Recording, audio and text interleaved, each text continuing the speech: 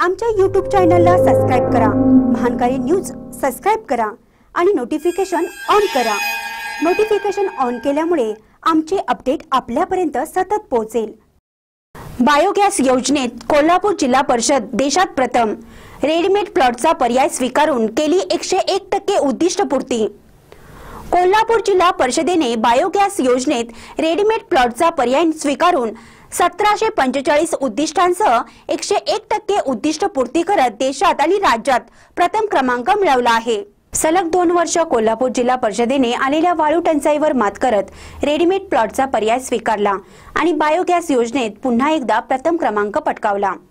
वाळूचे दर वाढल्याने कामे ठप्प होण्याची वेळ आली होती. जिल्हा परिषदेच्या कृती विभागाने कृषी विभागाने रेडीमेड प्लॉटचा पर्याय स्वीकारला आणि एकशे एक टक्के उद्दिष्ट पूर्ती केली. वाळूचे गगनाला भिडलेले दर बांधकामाचे वाढलेले दर आणि अनुदान मिळवण्यात नियमितता यामुळे बायोगॅस बांधणीचे आर्थिक गणित सर्वसामान्यांच्या आवाक्याबाहेर गेले होते. उद्दिष्ट निम्म्याने कमी करून घेण्याची ही वेळ जिल्हा परिषदेवर आली होती. मात्र कोल्हापूर जिल्हा परिषदेच्या कृषी विभागाने या संकटाशी यशस्वी सामना करत काम सुरू ठेवले.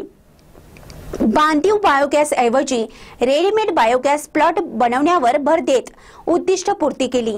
जिल्हा परिषदेने एक हजार सातशे सत्तावीस बायोगॅस बांधणीचे उद्दिष्ट असताना एक हजार सातशे पंचेचाळीस पूर्ण करून एकशे एक टक्के उद्दिष्ट या वर्षात पूर्ण केले. महान कार्य न्यूज वृत्त.